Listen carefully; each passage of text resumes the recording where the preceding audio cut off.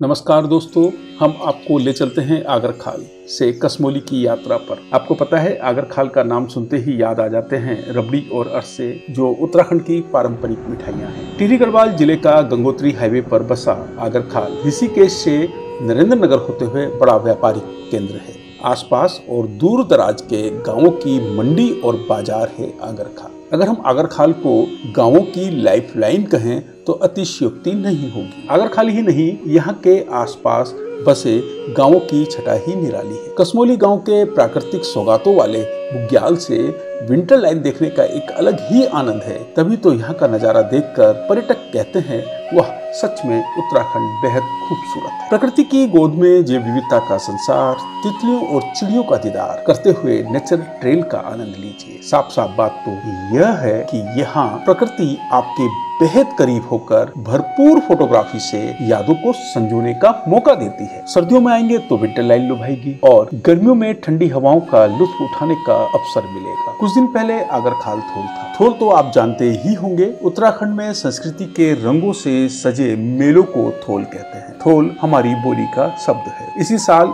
30 सितंबर से 1 अक्टूबर तक चला थोल यह पहला थोल अपनी प्राकृतिक एवं सांस्कृतिक धरोहर को जग ज़ाहिर करने का आगाज़ है, जिसके ज़रिए अगरखाल से कसमोली और आसपास के गाँवों में रची बसी गढ़वाल की गौरवशाली संस्कृति को जानने, समझने और कुछ पल सही में जीने का मौका मिलता है। अब इंतज़ार किस बात का है? हम आपको बताते हैं, क्या कुछ शानदार क्षण रहे पर्यटन विभाग के पहाड़ी पेडलर्स के साथ सजाए गए अगरखाल थोल के। चलिए शुरू करते हैं अगरखाल से कसमोली थोल की यात्रा, जहाँ सूर्यास्त की लालिमा का मन भर कर दीदार करते हुए चाय की चुस्कियाँ हैं और दिन में साइकिल राइडिंग का रोमांच और हवा से बातें करती पतंगों को आसमान छुआने की तमन्ना। रात में ढोल दमों की थाप पर मनान सजा है। मनान में मिलता है पहाड़ के लजीज, पारंपरिक व्यंजनों का अनूठा स्वाद। पहले दिन की बात करते हैं। चालीस साइकिल राइडर्स का दल सुबह पाँच बजे रंग बिरंगी और मज़बूत। पहाड़ के ऊँचे नीचे पथरीले रास्तों की हम सफ़र साइकिलों के साथ। देहरादून के महाराणा प्रताप चौक, रायपुर से रोमांचक सफ़र पर रवाना हो गया। उनको कसमोली बुग्याल तक चलना है। रंग बिरंगी साइकिलों की लंबी लाइन, पहाड़ के घुमावदार रास्तों पर एक गति से आगे बढ़ती देखना कभी नहीं भूलने वाला सीन है। साइकिलिंग एक्सपीडिशन में माहिर पहाड़ी पैडलर्स पहाड़ के उन रास्तों पर से होकर गुजरते हैं, जहाँ साइकिलों से पहले कोई नहीं पहुँचा होता। वो ढूंढते हैं उन जगहों को, जहाँ पर्यटन की संभावनाएँ हैं। कुल मिलाकर कहें तो साइकिल ट्रेल तलाश करना पहाड़ी पैडलर्स का काम है। हाँ तो बात कर रहे थे देहरादून से कसमोली तक साइकिल की सवारी की। साइकिल सवारों का उत्साह बढ़ाने और उनके वेलकम के लिए नरेंद्र नगर में ढोल दमों और फूल मालाओं के साथ मौजूद हैं राजकीय विद्यालयों के बच्चे। बच्चों के खिलखिलाते चेहरे देखने से खूब उत्साह बढ़ता है। नरेंद्र नगर टाउन हॉल में हौसला बढ़ाने के लिए जिलाधिकारी मयूर दीक्षित, मुख्य विकास अधिकारी मनीष कुमार, उप जिलाधिकारी नरेंद्र नगर देवेंद्र नेगी उप जिलाधिकारी घनसाली, शैलेंद्र नेगी, नरेंद्र नगर पालिका अध्यक्ष राजेंद्र विक्रम सिंह पवार भी पहुँचे हैं। वेलकम के बाद टिहरी गढ़वाल के जिलाधिकारी मयूर दीक्षित साइकिल दल को कसमोली बुग्याल के लिए रवाना करते हैं। नरेंद्र नगर से साइकिल दल में नए साथी शामिल होते हैं।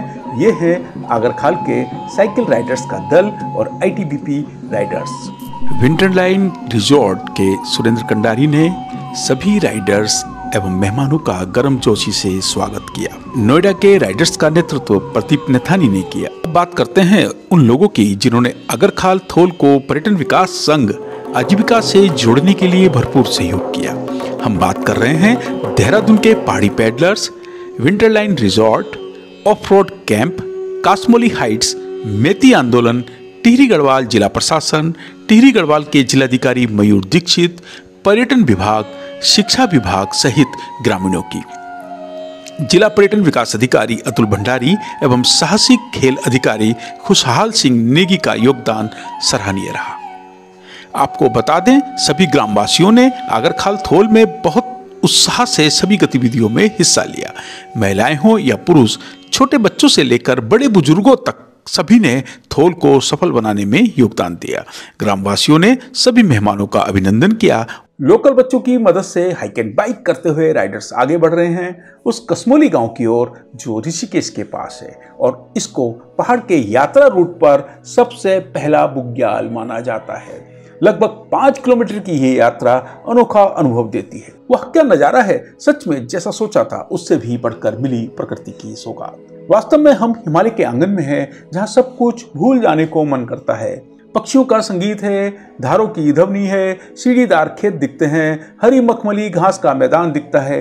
एक के बाद एक, जहाँ तक नज़र जाए, वहाँ हरियाली से लगतक पहाड़ और फिर उसके बाद पहाड़ ही दिखते हैं। इससे भी बढ़कर अगर कुछ है तो वह है ठंडी हवा का स्पर्श और हमारे से ऊपर सिर्फ़ और सिर्फ़ नीला आसमान बादलों के समूह कहीं पहाड़ से नीचे तो कहीं हवा के रथ पर सवार होकर किसी यात्रा पर दिखते हैं। ऐसा लग रहा है जैसे बड़े पर्दे पर पहले से शूट की गई कोई फ़िल्म चल रही है। यह तो उत्तराखंड के प्राकृतिक सौंदर्य की एक झलक है।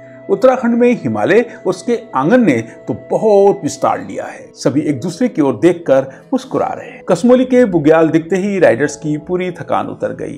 वो भूल गए, देहरादून से तेज धूप में ऊँचे नीचे धूल भरे रास्तों से होकर पिछहत्तर किलोमीटर की साइकिल यात्रा की है। पैदल चलाने में पूरी जान झोंकनी पड़ती है। पसीना पसीना हो जाता है शरीर। हाँ पेड़ों की छाव से होकर गुजरना ढाल पर मस्त होकर आगे बढ़ती साइकिल की सवारी का आनंद ही कुछ और है। कुछ देर प्रकृति को निहारने के बाद बच्चों संग युवाओं ने पतंगबाजी का लुत्फ उठाया। पहले ज़मीन पर एक गति में चल रही रंग बिरंगी साइकिलों की लाइन तो अब हवा में आसमां की ओर बढ़ती रंग बिरंगी पतंग। पतंग को बादलों से छुआने की हसरत में सब कुछ भुला बैठे ये बच्चे और युवा।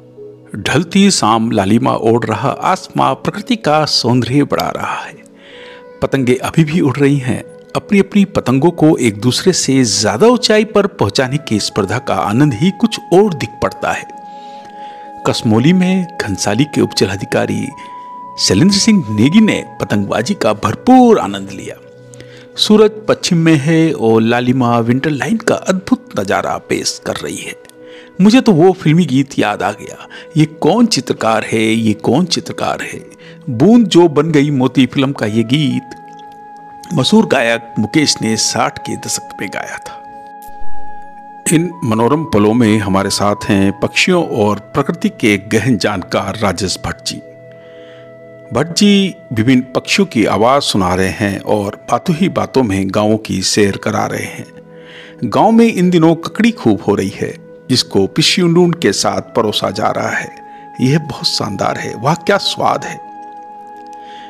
राजेश भट्ट जी बता रहे हैं, गाँव की पगडंडियों के बारे में ये कैसे बनती हैं? गाँव का जीवन कैसा है? क्या चुनौतियाँ हैं और क्या खास है यहाँ? खेती के तौर तरीकों और खास फ़सलों की जानकारी दे रहे हैं। स्थानीय स्तर पर आजीविका के स्रोतों पर बात कर रहे हैं। आसपास के जंगलों में कौन से जीव रहते हैं और वनस्पतियों के खजाने में ऐसा क्या है जो हमारे लिए बहुत उपयोगी है? उन्होंने ग्राम यात्रा कराने के साथ जैव विविधता पर भी फोकस किया। उनसे बहुत कुछ सीखने, जानने को मिला। सच में, राजेश भट्ट जी के पास जानकारियों और अनुभवों का भंडार है। बात बेसब्री से इंतज़ार है सभी को, वो है रात में लगने वाला मंडान मंडान का मतलब होता है सांस्कृतिक विविधता की झलक, जिसमें वाद्य यंत्रों की मधुर ध्वनियों के बीच लोकगीत और नृत्य का आनंद है। सभी रात्रि विश्राम के लिए कसमोली हाइट्स पहुँचे, जहाँ मंडान लगा था। रात की हल्की ठंड में आग के चारों ओर बैठे ग्राम यात्रियों के हाथ में गर्मा गर्म चाय से भरे कप। आनंद के इन पलों में वो सुन रहे हैं लोकगीत साथ ही पहाड़ के वाद्य यंत्रों और ढोल की थाप पर मगन होकर झूमने लगे ग्राम यात्री। बहुत आनंद आया। सच में यही जीवन है। पहाड़ के व्यंजनों का स्वाद तो निराला है, एकदम शुद्ध और पौष्टिक। इसलिए तो कहते हैं, आओ हमारे उत्तराखंड। अगले दिन सूर्योदय के समय राइडर्स ने गाँव के बच्चों, युवाओं के साथ वामा योग का आनंद लिया। बुग्याल से सूर्योदय के नज़ारे के साथ योग का अनोखा अनुभव। अगर खाल थोल के दूसरे दिन क्षेत्र के विद्यालयों, जिनमें राजकीय इंटर कॉलेज फकोट, राजकीय इंटर कॉलेज दुआधार, राजकीय inter college Betdhar, high school Lavedan, Onkaranand junior high school Agarkhal के 160 बच्चे कसमोली बुग्याल में साहसिक गतिविधियों और प्रतियोगिताओं में शामिल हुए। ट्रेल रन, रस्साकसी जैसी गतिविधियों में विजेता बच्चों को डिकेथलॉन देहरादून ने पुरस्कार प्रदान किए। साथ ही गाँव और शहर से आई महिलाओं के बीच भी रस्सा कशी का आयोजन किया गया। यहाँ बाजी मारी गाँव की महिलाओं ने। पता है क्यों? यह शुद्ध और एकदम जैविक अनाज का दम है, जो भरपूर ताकत देता है। अब आगर खालथोल अपने अंतिम पड़ाव पर है, जहाँ स्कूली छात्र छात्राओं ग्रामीणों, राइडर्स और थोल में पधारे सभी लोगों को पक्षियों एवं प्रकृति के गहन जानकार विशेषज्ञ राजेश भट्ट ने पहाड़ और यहाँ की संस्कृति की कहानियाँ सुनाई। उन्होंने हमारे वातावरण में रोज़ाना आ रहे बदलावों को बताया ताकि नई पीढ़ियाँ प्रकृति और संस्कृति के बीच के अटूट रिश्ते को अच्छी तरह समझ और जान सकें। अगर ये बातें समझ में आ गई तो समझो वो अपने पर्यावरण, अपने पहाड़ और संस्कृति को बचाने के लिए कुछ कदम चल पड़े हैं। पर्यटन विभाग के साथ आयोजक संस्था पहाड़ी पैडलर्स के संस्थापक गजेंद्र रोमोला आगर खालथोल के उद्देश्य पर बात करते हैं।